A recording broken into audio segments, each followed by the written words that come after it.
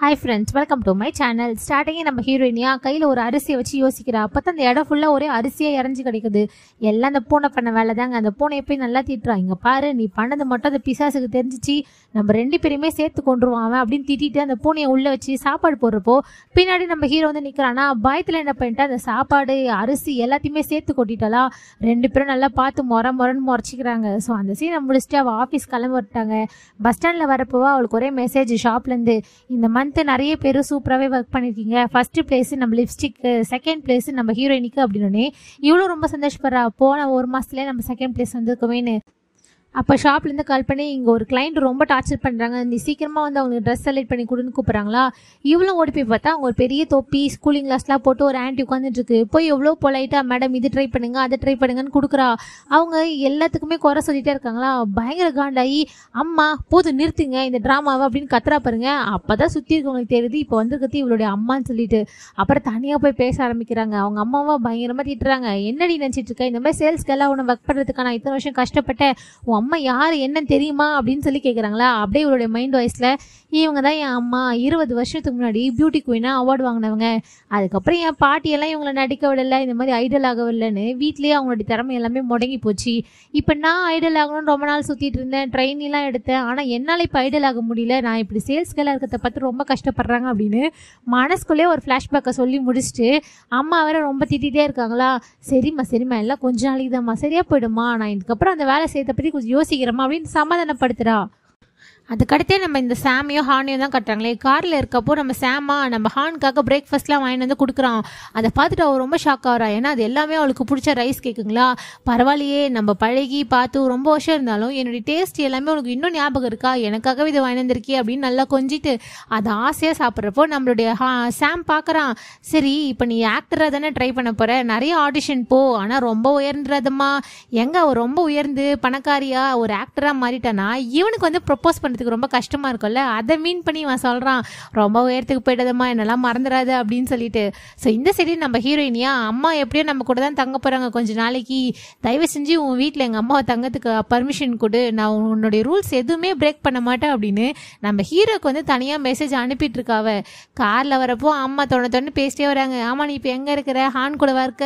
இல்லை இல்லைம்மா ஹான் கூட இல்லை. நான் தனியாக வேற ஒரு வீட்டில் இருக்கேன். தனியாக இருக்க நீ? உனக்கு பயமா இல்லையான்னு கேட்குறாங்களா நான் தனியாக இல்லைம்மா. ஹான் ஹானுடைய தம்பி கூட இருக்கான் அப்படின்றனா பையனை பற்றி நல்லாவே தெரியும். அவன் ரொம்ப நல்ல பையன் நம்பி இருக்கலாம் அப்படின்ட்டு பேசும்போதே இவகிட்ட மெசேஜ் வந்துச்சு. நம்ம ஹீரோ தான். ஓகே நோ ப்ராப்ளம் உங்கள் அம்மாவை கூட்டிட்டு வா அப்படின்னு மெசேஜ் அனுப்பிட்டானா. ஸோ ஸ்ட்ரெயிட்டாக வீட்டுக்கு வந்தோடனே பயந்து பயந்து உள்ளே வரா. எங்கடா திட்டுவானோ அப்படி இப்படின்னு. உள்ளே வந்தால் அவன் ரொம்ப கேஷுவலாக அவங்க அம்மா கிட்ட ஆ வாங்க வாங்க ஆண்டி எப்படி இருக்கீங்க? நான் தான் அவங்களுடைய தம்பி. ஹானோடைய இது அப்படி இப்படின்னு அவனே இன்ட்ரோ பண்ணிட்டு பெட்டி கொடுங்க அப்படின்னு ரொம்ப ஸ்மைல்லாம் பண்ணி கூட்டின்னு போகிறான் நான் மேலே பொறுப்பு பருப்பு மாதிரி. அதை பார்க்குற ஹீரோயினி தான் பயங்கரமான ஷாக்கு என்னடா இவன் சிரிக்கிறான்? இவனுக்கு சிரிக்கலாம் தெரியுமா என்ன? நம்ம இதுக்கு முன்னாடி பார்த்ததே இல்லையேன்னு ஷாக்காக பார்க்குறாளா? மேலே வந்தோடனே அவங்க அம்மாக்கும் நம்ம ஹீரோ ரொம்ப பிடிச்சிச்சு. ரொம்ப கைண்டாக இருக்கானே நல்ல பையனாக இருக்கானே ரொம்ப பார்க்கறதுக்கு அழகாக இருக்கானேன்ட்டு.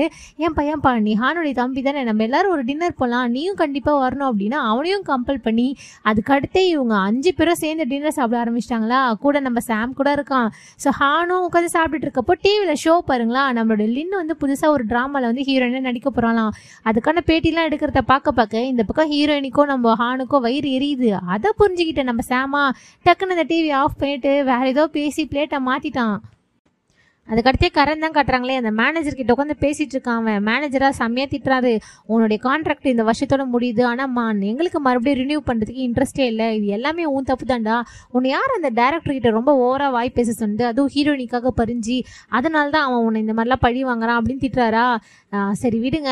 நான் ஆல்ரெடி ஒரு ஆல்பம் பண்ணிட்டு இருந்தேன். அதுவும் பாதி வேலை முடிஞ்சிச்சு. பேலன்ஸ் என்ன பண்றதுன்னு கேட்குறானா ஆமா அது உனக்கு இப்பதான் ஞாபகம் வருதா? அவன்கிட்ட வாய் அடிக்கிறப்ப ஞாபகம் வரலையே? அப்படின்னு இவனை திட்டிட்டு இருக்காங்க.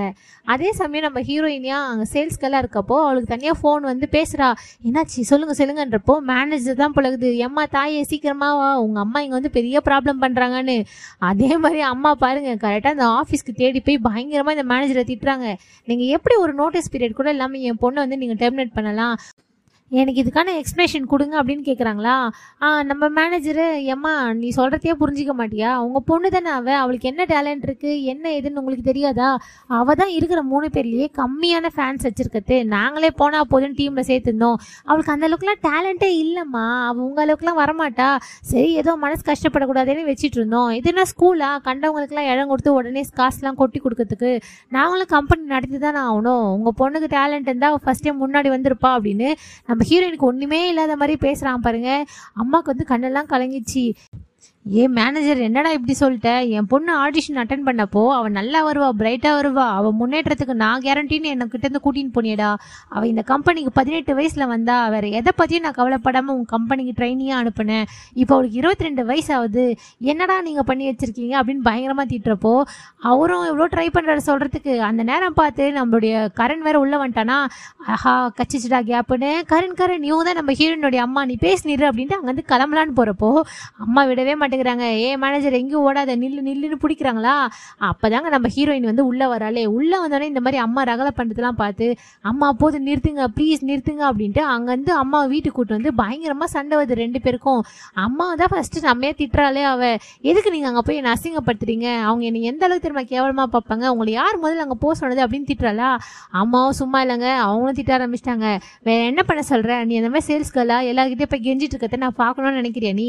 இந்த வேலைக்கு தான் நான் உன்னை அனுப்பணும்னு முடிவு பண்ணியிருந்தேனா நான் இதை நாலு வருஷத்துக்கு முன்னாடியே அனுப்பியிருக்க மாட்டேனா? நான் எதுக்காக உனக்காக கஷ்டப்பட்டு இந்த கம்பெனியில் சேர்த்து விட்டேன்?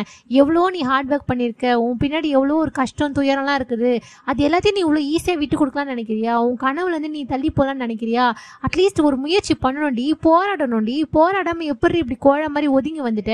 அவங்க சொன்னால் நீ டேலண்ட் இல்லாத பொண்ணு ஆகிடுவியா டேலண்ட் இல்லாமல் இந்த உலகத்தில் எல்லாரும் பிறக்கறாங்க நீ இதே மாதிரி லூஸ் பண்ணிட்டே இருந்தனா எனக்கு உன்னை பார்க்கும் போதெல்லாம் உங்கள் அப்பாவை பார்க்குற மாதிரி தான் இருக்குது உங்கள் அப்பாவும் நீயும் ஒரே மாதிரி தான் இருக்கீங்க லூசர் லூசர்னு சொல்லிட்டு அந்த பூனைக்குட்டி வேற கீழே இருக்கலாம் அதை வேற சும்மா உதைக்கிறாங்க பாருங்க இது வேற நடுவில் அப்படின்ட்டு இவளுக்கு காண்டாயிடுச்சு. அம்மா போதும் நிறுத்துங்கம்மா. ஏன் மேலே இருக்க கோவத்தை எதுக்கு இந்த வாயில ஜீவன் மேலே காட்டுறீங்க? உங்களுக்கு கொஞ்சம் கூட இறக்கமே இல்லை. நீங்கள் கொஞ்சம் சைக்கட்ரி ஆகிட்டீங்க அப்படி இப்படின்னு திட்டிட்டு அந்த பூனையை தூக்கின்னு வெளியே போயிட்டாங்க அவ. அதுக்கடுத்து நம்ம கரண் தான் காட்டுறாங்களே நம்ம ஹானை மீட் பண்ணி தனியாக பேசுகிறான் இந்த மாதிரி லின்னை யார் தெரியுமா சாம்பியன் ஆக்குனது? அது அந்த கிங்கு தான். கிங்கு யாருன்னு உனக்கு தெரியுமா? அப்படின்னு கேட்டவுடனே அவளே சொல்கிறா அது என் தம்பி தானே. எனக்கு இந்த பர்த்டே ஃபங்க்ஷனில் தான் தெரிஞ்சிச்சு அப்படின்றாளா தெரிஞ்சுமா நீ சும்மா இருக்கிற. ஆ வேற என்ன பண்ணுறது எனக்கு வந்த கோவத்துக்கு அவனை அடித்து நொறுக்கலாம் தான் நினச்சேன். இருந்தாலும் ஹீரோயின் அவன் கூட தான் தங்கியிருக்காளே. ஸோ அதை நினச்சி தான் நான் எதாவது பண்ணனா அவன் ஹீரோயினை வீட்டை விட்டு வெளியே துரத்திடுவான். அப்புறம் அவன் நடுரோட்டில் தான் நிற்கணும் அவளுக்கு தங்கத்துக்கே இடம் இருக்காது. அதை நினச்சி தான் அவனை நான் விட்டு வச்சிருக்கேன்னு சொல்கிறாளா ஏய் அவ்வளோதானா நான் ஹீரோயினுக்கு இடம் கொடுக்குறேன். அவள் ஏன் கூட வந்து தங்கிட்டோம்? அப்படின்னு சொல்லும்போது இல்லை இல்லை. என் தம்பி தானே தப்பு பண்ணால் அவன் தான் இந்த பொறுப்பு எல்லாத்தையும் எடுத்துக்கணும். அவனே அவளுக்கு ஒரு நல்ல வாழ்க்கை கொடுக்கட்டும். அவளுடைய டைரக்ஷனில் அவள் இருந்தாதான் கொஞ்சமாச்சும் அவளும் கொஞ்சம் முன்னேறுவா அப்படின்ட்டு அந்த இடத்துல பேசிட்டு கிளம்பி வந்துட்டாங்க. ஸோ அதுக்கப்புறம் நம்மளுடைய அம்மாவா நம்ம ஹீரோ கிட்ட வந்து சொல்கிறாங்க ஏன்ப்பா என் பொண்ணு எங்கே போனான்னு தெரியலப்பா. நாங்கள் ரெண்டு போய் சண்டை போட்டோம். வீட்டில் காசு ஃபோனு எல்லாத்தையும் வச்சுட்டு போயிட்டா. அவளுக்கு வேறு கண்டினியூஸாக கால் வந்துட்டே இருக்குது ப்ளீஸ் ப்ளீஸ் இந்த ஃபோனையும் எடுத்துகிட்டு அவள் எங்கே இருக்கான்னு கொஞ்சம் பார்த்து வீட்டுக்கு கூட்டு வந்திருப்பா. அப்படின்னு நம்ம ஹீரோ கிட்ட ஹெல்ப் கேட்டோன்னே ஆ ஓகே ஆண்டி நீங்கள் கவலைப்படாதீங்க. அப்படின்ட்டு வெளியே வரான். வெளியே வந்து அவனுடைய மெமரியை வச்சு இந்த இடம் அந்த இடம் அந்த இடம் எல்லா இடமும் பார்த்தாச்சு. இன்னும் ரெண்டு இடம் பேக் இருக்குது அப்படின்ட்டு அங்கேருந்து கிளம்பி போகிறாங்க அப்போ பாருங்க அங்கே டெலிஃபோன் பூத்தில் நம்ம ஹீரோயின் யாருக்கோ கால் பண்ணுறா ஸோ இவன் வர்றப்போ என்னாச்சுன்னா கண்டினியூஸாக கால் வந்துட்டே இருக்கா.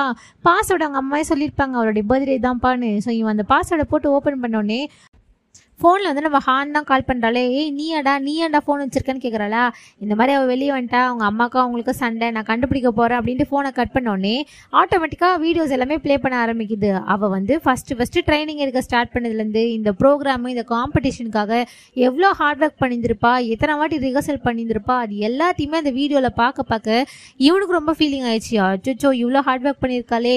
நான் தான் லின்னை வந்து சக்ஸஸ்ஃபுல் ஆக்குனது. நான் தான் இவ்வளோ ரொம்ப அடிமட்டத்தை கொண்டு வந்தது. நான் பெரிய தப்பு பண்ணிட்டேன் அப்படின்னு ரொம்ப கில்ட்டியாக ஃபீல் பண்ணுறான் அப்போ தான் ஒரு கிளிக் ஆகுது. ஐயோ அங்கே ஒரு ஃபோன் பூத் இருந்துச்சேன்னு சொல்லி கடகடன் அந்த இடத்துக்கு ஓடி வந்து பக்கத்துக்குள்ளே இந்த சரி நம்ம ஹீரோயின் யாருக்கு ஃபோன் பண்ணியிருந்திருப்பானா நம்ம கரனுக்கு தாங்க ஃபோன் பண்ணி அந்த பூனைக்குட்டி வர பசியாக இருக்குங்களாம். பூனைக்குட்டிக்கு சாப்பாடுலாம் வாங்கி கொடுத்துட்டு பேச ஆரம்பிக்கிறாங்க.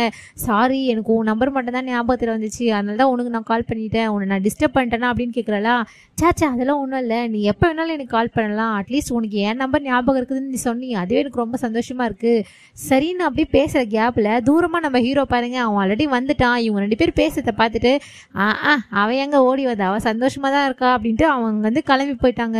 ஸோ நம்ம ஹீரோனே திருட்டுத்தனமாக வீட்டுக்குள்ளே வந்துட்டான் அன்னைக்கு நைட்டு அவங்க அம்மாவும் அவகிட்ட எதுவுமே நடக்காத மாதிரி மூஞ்செல்லாம் பாரு எப்படி கருத்து போயிருக்கு? போய் மூஞ்சி கழுவு அப்படின்ட்டு நார்மலாக பேச ஆரம்பிச்சிட்டாங்க. சண்டை நடந்ததுக்கான அடையாளமே தெரியலன்னு பார்த்துக்கோங்க. அதுக்கு அடுத்த நாளே ஹெச்கியூ கம்பெனின்ற ஒரு இடத்துக்கு போகிறா அது ஆக்சுவலாக நம்ம ஹீரோயினி ஒர்க் பண்ணுற ஷாப்போடைய ஹெட் குவார்ட்டர்ஸ் மாதிரி.